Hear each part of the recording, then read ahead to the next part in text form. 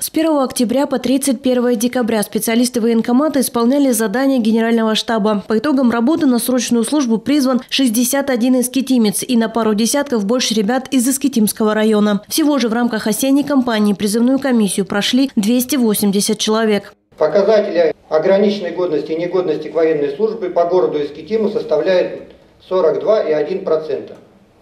Структуре заболевания, явившейся причиной ограничения годности граждан военной службы, наиболее удельный вес занимает это психические расстройства, заболевания органов дыхания, болезни органов пищеварения. Анализ заболеваемости призывников, подлежащих призыву, показывает, что А категория это годен к военной службе, без каких-либо ограничений у нас было 75 человек, Б это годных к военной службе с незначительными ограничениями 87, ограниченно годные к военной службе, которые служить в мирное время не будут. 81, временно негодных 32 и негодных военной службе 5. Всего на призывную и медицинскую комиссии подлежали вызову 349 человек. Пришли не все. Еще одна проблема – не всех удалось оповестить о необходимости явиться в военный комиссариат. Причина – не все проживают по месту регистрации. Направлено обращение в межмуниципальное отдел МВД Искитимский с целью установления их места пребывания.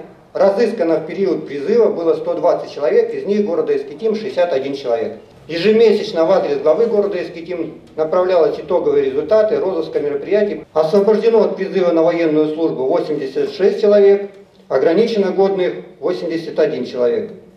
Негодных к военной службе 5 человек.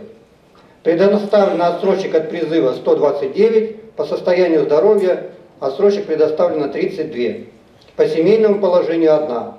Обучающих в образовательных учреждениях 94 и по другим причинам два человека. При отправке ребят на службу учитывались их личные пожелания, поэтому единственный кандидат от города в президентский полк отправился служить в воздушно-десантные войска. Большая часть ребят пополнила сухопутные войска Центрального военного округа.